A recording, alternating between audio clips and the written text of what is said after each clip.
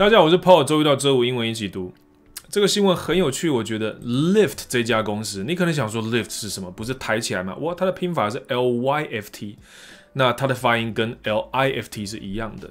OK，所以这里也写一下，Lift 是把东西抬起来。那甚至呢，在一些国家里面，Lift 也可以叫电梯。OK，所以搭 Lift，香港好像就是哦，像 OK，所以那它的拼法 L Y F T，好换换一个这个，呃，我猜它就是把 I 变成了 U。好，但不管了，不管它。所以这个 Lyft 是在干什么呢？它跟 Uber 基本上是一样的公司，所以这只我不知道有没有进台湾哦。好，Anyway，所以这家像 Uber 一样的公司叫做 Lyft 呢，Now lets you pay for your Tinder date ride。哇哦，它现在可以让你来付付什么东西啊？你的 Tinder 的约会对象的这个 ride。所以 ride 这个字呢，就是搭个搭个车就是 ride。所以要是你今天出门有一个人专门载你，你可以叫他 designated driver。哦，就是你的指定驾驶、特定驾驶，像就代驾也可以，像不是那个代驾哦，不是付出代价的代价，我这里也打一下，就代替驾驶的代价了，你大概懂了。喝酒了，不要开车了，找个代驾，所以你可以叫他 designated driver，OK？那所以你的 designated driver can give you a ride，所以 give you a ride 就是让你搭个车，或许叫搭个便车。Give you a lift 是一模一样的意思，所以 ride 这个字跟 lift 这个字在这个内容里面是可以互相替换的。所以要是我要去哪里，然后你要去哪里，然后诶好像有点近，我问你，你在开车嘛，对不对？那你能不能让我搭个便车呢？Can you give me a ride? Can you give me a lift? Give right? Give me a lift. 好，所以这边在说的到底是什么？再说一次，所以 lift 这家公司现在让你付什么东西啊？付你的 Tinder dates 的 ride。那这里的 dates 这个字就我需要把它呃讲清楚一点点，说真的，OK，所以 date 这个字，这是我们今天讲的这个重点了哈。date 当然有日期的意思，可是也有约会对象，而这个约会对象并非交往对象，它只是约会对象。例如说，我今天开了一个趴，然后你你会来，然后你就说哦，会带个朋友一起来，我说好，没问题，欢迎你来。所以你们来了之后，你就介绍了，Hey, hey Paul, this is John and he's my date，这样子。所以你如果跟我讲说，呃，He is my date，我就会知道他是你今天的这一个来这个趴的一个一个带来的朋友。所以你们两个今天就是 go on a date。So so you went on a date with John，我们就用这个名字好了。所以 you went on a date with John，就是你跟 John 啊就约个一个会。所以你来我的 party，OK，you guys are on a date，and he is your date。 这个都只是约会对象，不是交往对象，OK？而交往呢，就要把 date 当做动词了，OK？当做动词，所以前面的日期是名词，OK？啊，好烦哦，这里上全形、半形，有时候真的常会很焦头烂额的。好，现在弄对了，所以约会的对象也是名词，而且这就是还没有交往哦，所以我要强调一下，非交往。所以这个地方我们要把它讲真的很清楚，OK？非交往，那要是你们有在交往的话，要把它当成名词。所以如果你把这一个 You went on a date with John，然后觉得 He's not a bad guy，然后你跟他说 John and I are dating，这就表示你们在交往了。所以正在 dating 中，这才叫做交往，OK？So 那如果你们交往了三年之类的，四年之类的，说 We have been dating for a while，这样子，for three years，OK，so we have been dating。如果今天讲的是一阵子，或者是 We have dated for 多久多久，也是我们交往了多久。那一样，再把动词说下去，如果变过去是有可能吗？有可能。例如说你在五年后，那你跟 John 约会了三年，交往了三年，结果五年，结果三年后分手了，又过了两年，所以就是五年后。我不敢把故事编那么复杂啊！不管你懂我意思啊，你就可以说 We so John and I dated for three years，就表示你们曾经交往过三年。这样听懂意思哈？那我这里再再多补一个就是很鸡巴的东西了。既然 date 这个字如果是动词当成交往的话，有没有别的词能够替换它？会不会可以让你比较不 confused 一点点？我我现在介绍这个可能会让你更 confused，不过还是要讲。所以在这里面呢，如果说 John and I are seeing each other，所以我这里补一个另外的说法，就是 seeing each other。所以你这样说也可以，一整个哦。然后 dating 也可以，John and I are dating，两个意思都可以。所以 see each other 也可以表达这是在交往中。所以你也可以改成 We have been seeing each seeing each other for 多久多久了，right？这样也 OK，好。但你不是 dating each other 哦，你只要讲 dating 就可以了，你不用讲 dating each other，听起来很啰嗦、绕舌。所以你可以说，可是下面你看，we have dated for 一段时间，你可以改成 we have seen each other for 多久了吗？我觉得也不是不行。可是啊，呃，可是最后一个，你跟 John 约会了三年，约会过三年，如果你改成 John and I saw each other for three years。我真的不知道你在说什么，OK？所以最后一个是不能换的，所以它并不是任何的情况中都可以做替换，并不是这样子，OK？好，所以呃，如果你这里改成这个的话，大概也行吧，OK？All right，所以补充到这里大概算够了哈。所以 date 这个字真的用法上好啰嗦，那希望讲到这里你懂了，OK？好，所以我们再看下去，就讲了半天还没进这个故事，我搞什么鬼？所以他让你付钱，让你的 Tinder dates 能够搭个车来找你或之类的这样子。好，所以希望这可以 jump start dating，能够真的鼓励大家来开始约会吧。这样 jump start dating，再看下去。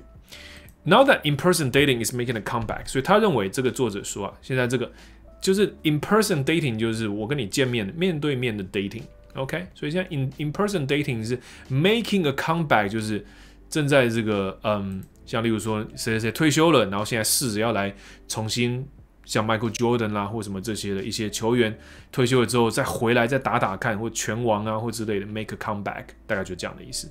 突然间想不起来中文该怎么说，可是你大概懂意思啊，说 make a comeback。OK，so 现在他觉得 in-person dating 是在 make a comeback，所以 Tinder and Lyft want to encourage more of those face-to-face encounters，他就想要鼓励更多的这一种面对面的 encounter。所以 face to face OK 应该没问题，OK in person 也可以。还有一个词叫做 in the flesh，就是亲自见到了。所以要是我我我有机会亲眼见到柯文哲的话，我可能就会在他面前模仿他讲话吧。就是我们现在就是有个亲临计划，OK 好 Anyway，所以 in the flesh 就是本人见到的一个概念，OK 说 in person in the flesh 好。然后呃，再看下去，所以 as teased in March，所以三月就已经 tease 过这件事情，tease 有调笑、开玩笑的意思。可以有这家公司可能有试试看，推一点点出来也不一定。所以 the Tinder app now includes an Explore Hub，所以有这么一个新功能，一个一个一个 Explore 的 Hub 这个字叫做交通枢纽之类的概念。好，不管了，没关系。所以它可以让你 let you buy a lift ride for your date。所以你看这个 your date 是什么？你的约会的今天的对象，不是交往的哦。再强调一次。You don't have to exchange address or locations。你们是不用互换地址或者就是任何的 location 的，不需要地点的。You just send a credit，你给他就是一个加值的一个服务，好，给他一个 credit with a set destination if you prefer。所以不见得这一个呃 credit 呢是一定要有一个呃地呃选好的地方的，可是也可以有。所以有一个 destination 就一个地点哈，所以这边这个 destination 这个字，其实 destiny 这个字叫做缘分，OK？那 destination 变成是一个目的地，所以你可以设一个目的地，如果你要的话，例如说某个电影院之类的，and your date does the rest，而你的约会对象呢就可以把其他处理完，其实也就是上车嘛，对不对 ？So the credit is only useful for drop-offs，所以这个 credit 能用的就只是可以把人放下来。所以能够放在一个什么地点，所以 drop off 就这样的意思。Within，呃，所以强调一下，a drop off for drop offs within a half mile of a set destination。所以也就是只能在你设好的目的地的一个 半英里的范围内。所以你不可以搭这个车，然后就跑到高雄去找你姑妈之类的，不行。OK，然后然后还说这个都是他愿意付的，没有这回事。所以他如果说我要你到那个电影院去，你就只可以在电影院的半英里范围内下车。你不可以离开那个范围，so 所以这个 drop offs 呢是 within a half mile of a set destination，and you get a refund for any unused credit。所以要是没有用完这个 credit 的话，你还得到 refund，refund 就是退钱这样子，OK？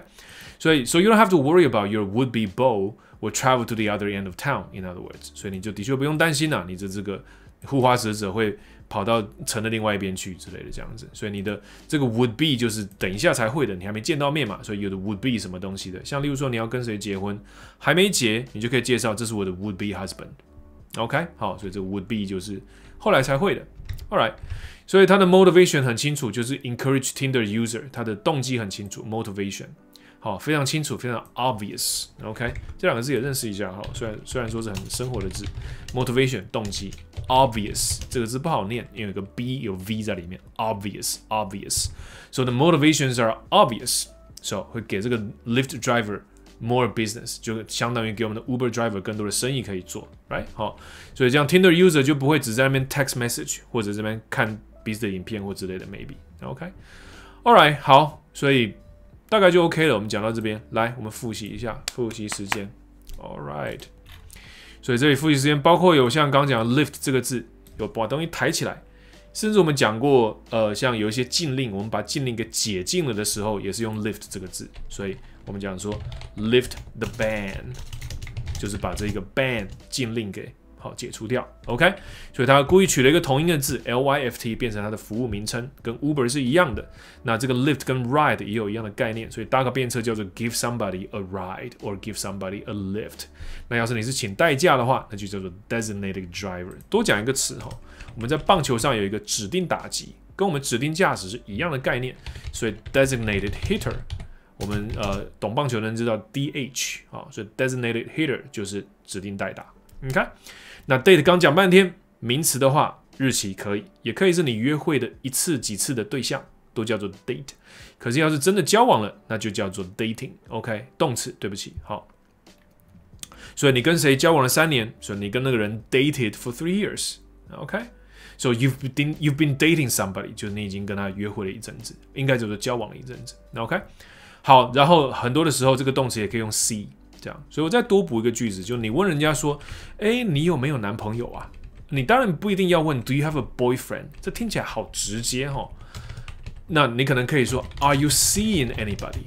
Are you seeing anyone right now? Are you seeing anyone presently？”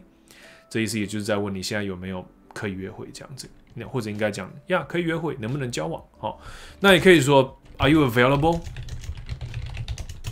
这是比较老派一点的，我年轻一点的时候听过的问法。我觉得现在问起来好像也怪怪的，像 Are you Are you available？听起来不见得好像一定在讲约会这件事，但也是可以啦。就你问的比较，你的口吻可能呃有点迟疑一点点。Are you um Are you available？那人家就可能说哦，你大概是那个意思。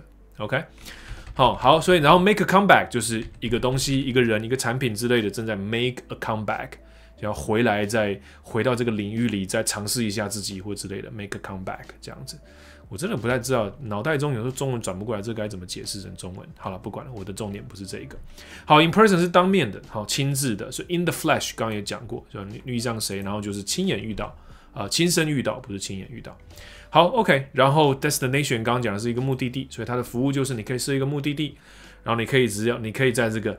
半英里的范围内可以让他下车，所以这个是 drop off，还记得吗？drop off。所以像你刚刚讲搭便车好了啊，我搭了你便车啊，你把我在这个中校新生站把我放下就好了。那个 you can drop me off at the 中校新生 station，大概这样一个概念。OK，destiny 是缘分，或许你记得另外一个字叫 fate 也可以了。OK，那 refund 是退钱没问题，然后 would be 是后来就是会怎样的，像那个还没有结婚过门的妻子啊，但是你的 would be wife 这样。OK，那他们的 motivation 非常的明显，就是希望可以给 Lyft driver 更多一点 business。So their motivation is very obvious. They want to give more business to the uh, Lyft drivers. OK，所以对这个新闻，你有什么想法呢？你是不是 Tinder user 呢？如果你是的话，你会不会觉得好方便哦？我就可以直接把它送来我家当做外卖一样了。听起来好恶心哦，不太对。好，Anyway，啊，我是 Paul，就到这就到这里就好了。我们下次见。